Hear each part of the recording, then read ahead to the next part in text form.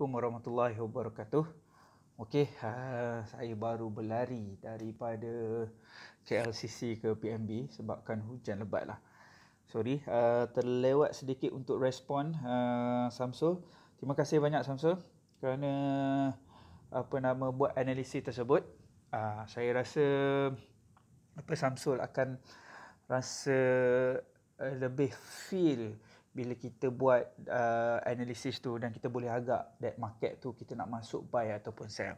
Okey, uh, tak ada masalah untuk yang Samsul uh, jawab tadi uh, beri apa nama uh, homework sebentar tadi. Okey, um, sebenarnya apa yang dah faham tu dah betul. Cuma kita nak tuning bahasa sikit agar apa tau? Supaya kita ada sama punya uh, language agar kita uh, memahami antara satu sama lain. Ha, agar kita nampak market tu uh, and in mind dia nampak market tu yang apa nama sama. Ha, okey. Secara analisis yang tadi tu dah okey. Cuma uh, cuba buangkan sikit yang belakang tu yang ada berkemungkinan nak jatuh, berni apa semua tak nak. Ha, kita stick kepada kita punya CFA tu. Alright, macam ni ya. So this is uh, GBP USD. Okey, kalau tengok weekly eh, kalau kita tengok weekly ni, uh, ada sekali je momentum yang dah keluar satu minggu pada bulan 10 kan. Dan sampai sekarang market tidak berada di luar BB. Ha, nampak tak? Agak-agak lah eh beberapa minggu ni market tak ada di luar BB ni agak-agak apa ada dekat time frame besar. Cuba agak. Ha, kita tengok apa ada dekat time frame besar. Perasan tak? Di time frame besar Okey, nampak tak? Di time frame besar, di monthly, ketika ini dia bermain-main di MA510. Ha, apabila tiada, tiada momentum di weekly ni, tiada momentum buy di weekly ni, kawasan ni semua ni, dia berada di top BB, biasanya dia adalah re-entry di higher time frame. Ha, itu key dia. Okey? So, tak apalah untuk untuk monthly tu, itulah cerita dia. Ha, kalau confirm uh, monthly ni ada seminggu dua ni okey monthly ni confirm close di MA 510 high ni dengan keadaan pimba ni ini adalah satu perjalanan jauh lah satu perjalanan jauh. Nampak tak ni?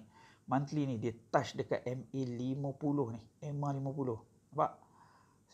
Dalam ni banyak-banyak ni berapa kali dia touch dekat MA 50 dalam tahun ni.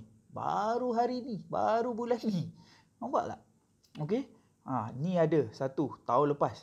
Adakah dia sama macam jadi tahun lepas? Dia touch MR50 tak lepas dan kemudian dia terkejut? Hmm, sama-sama kita nantikan nanti. Alright, so tengok weekly. So weekly sebab kita trade weekly ya. Ha, so weekly kita tengok dia sekarang ni dia berada di MR uh, di re-entry sell. Okey, di re-entry sell di weekly satu. Ingat CP pertama, re-entry sell weekly. Okey, kemudian apa yang kita nak confirmkan re-entry sell weekly ni? Kita kena confirm dengan daily. Hmm, apa yang kita nak tengok? Sebenarnya kita nak tengok market hilang volume. Tengok hari Jumaat. Jumaat, Kamis, Rabu, Selasa, Isnin. Perasan tak? Hari Isnin. Kecuali hari Jumaat yang minggu lepas, okey, dua minggu lepas dia keluar daripada BB. Betul? So now, start pada hari Isnin dia dah close di dalam dan dia jadi extreme apa-apa yang close dia dalam uh, BB ni kita panggil dia MHV. Ha, kita panggil dia MHV. Okay? Market hilang volume maknanya dia tak ada momentum untuk naik. Ha, kalau kita faham BB MBA structure, ini adalah extreme, ini adalah TP wajib. Ha, cuma dia tak ada MHV. Okay? So structure lah. Tapi tak nak, kita nak tengok full structure tu di lower time frame je. Sebab di higher time frame, dia hanya jadi satu atau dua kali je. Sebenarnya.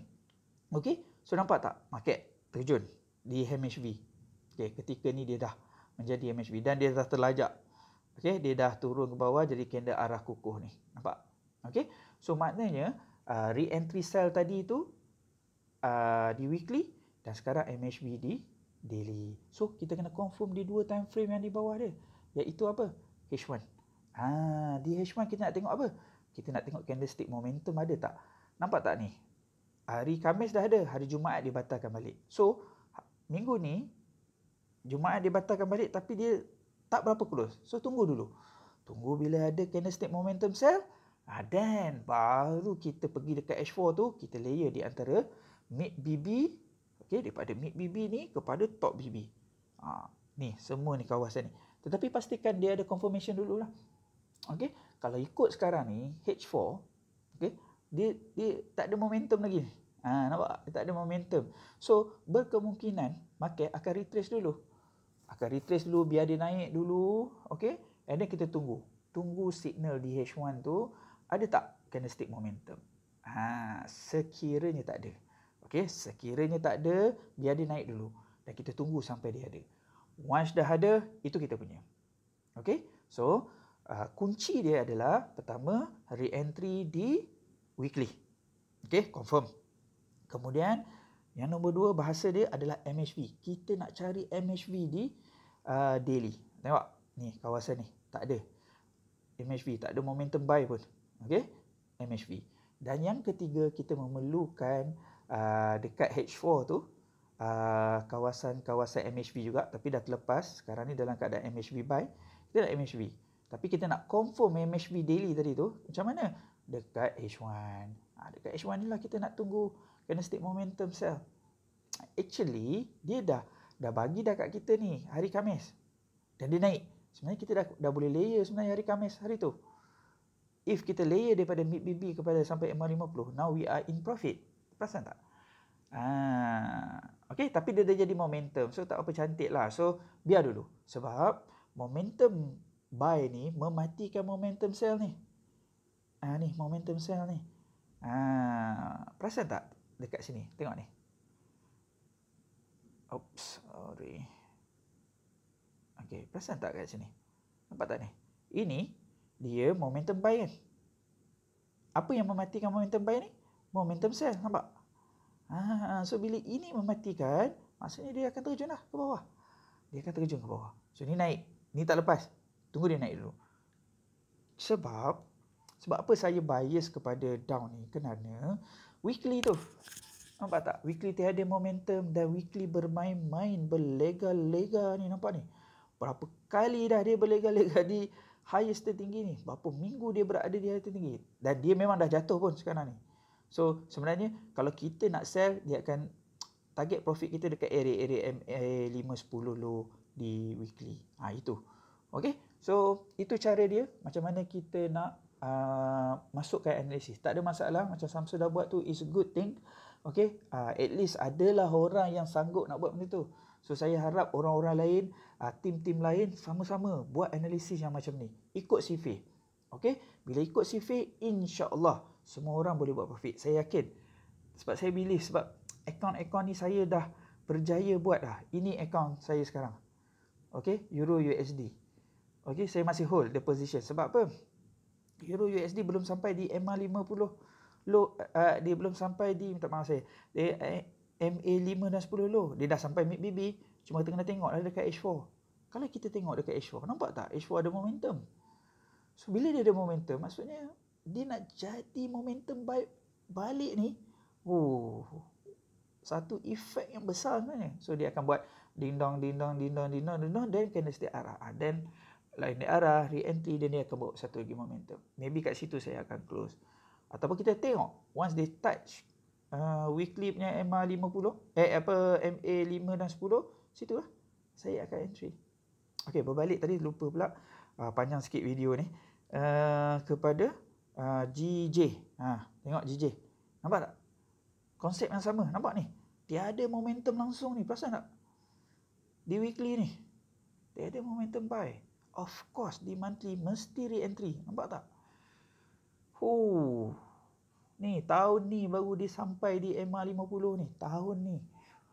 Oh, ini kalau jatuh ni jatuhan besar ni. Jatuhan besar.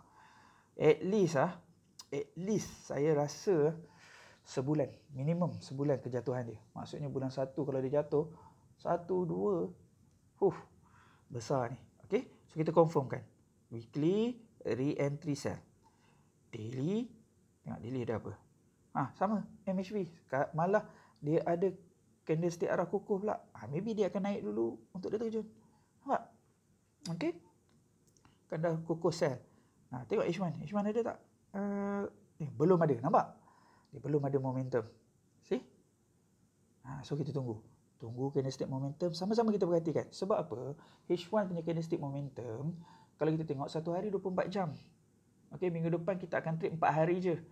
Sebab Christmas kan. Ha, so, uh, 4 hari dah 24. Ha, berapa tu? 16, 1, 96 jam.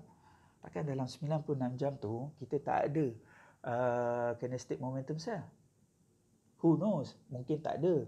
Kan? Allah saja tahu. Tetapi uh, kita berdoa sama-sama agar dia ada kinetic momentum sel. Uh, barulah kita cari sel. Buat sementara ni, hold dulu. Kita perhati saja dulu. Apa yang saya buat, biasanya saya akan perhati di H4. Bila saya dah buat analisis macam ni, saya akan perhati di H4. Okay, perhati dulu apa dia nak bergerak, apa dia dan dia nak buat. Okay guys, uh, thank you very much kepada Samsung yang dah buat analisis dan saya mengharapkan orang lain pun sama tolong buat analisis tak apa, jangan malu. Tolong postkan dalam ni. Kita bukan belajar dekat sekolah. Kan? Kalau kat sekolah takut, malu, segan lah, buat salah. Tak ada. Saya pun belajar juga. Okay guys, uh, saya doakan sama-sama kita profit dalam minggu depan di dalam uh, waktu Christmas dan tahun baru. Ha? Uh, saya pula tadi uh, Cikgu Azlan ada jemput saya untuk pergi jumpa dia pula dekat tepi Bangi. So sekarang pukul 7 mandi semayang maghrib dulu and then saya akan pergi ke sana lah. Ah, apa-apa information nanti saya bagi tahu lah insyaallah okey assalamualaikum warahmatullahi wabarakatuh